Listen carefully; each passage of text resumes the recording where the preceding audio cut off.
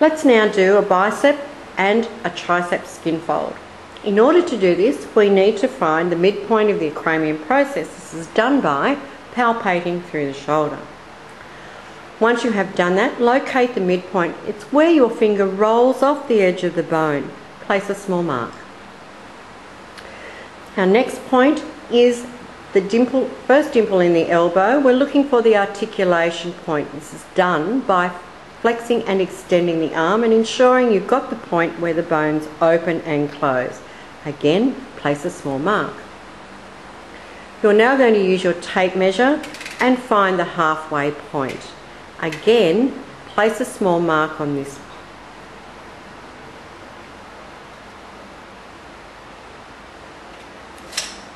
Now, holding the client's arm, turn the arm into anatomical position. Remember that anatomical position is where the palm is facing forward on the body. Align yourself directly in line with the shoulder and without moving your head, place a small vertical line where you see the very edge of the bicep muscle and on the back of the arm, which may or may not be in direct line over the tricep. Try not to move your head.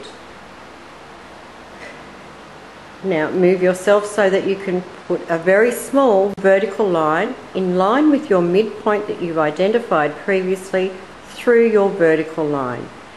These cross marks will be the position that you use to take your skin folds. Having located our point for the bicep skin fold, you need to place your fingers above this and grab a fold of skin at least one centimetre. Rolling the skin between your fingers ensures that you do not have any muscle attached. The site that you have identified is where you're going to place your calipers. Please be sure that your arm is parallel to the floor.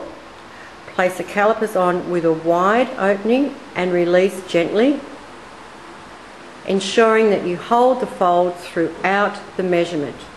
Maintain the calipers in contact with the fold for two seconds. You then release the skin fold.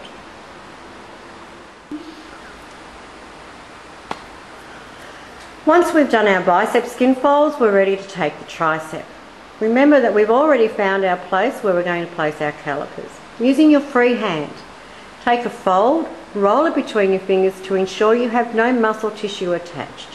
Open your calipers nice and wide, place on the fold, hold for two seconds and take your reading on the second second. Release the calipers and then your fingers.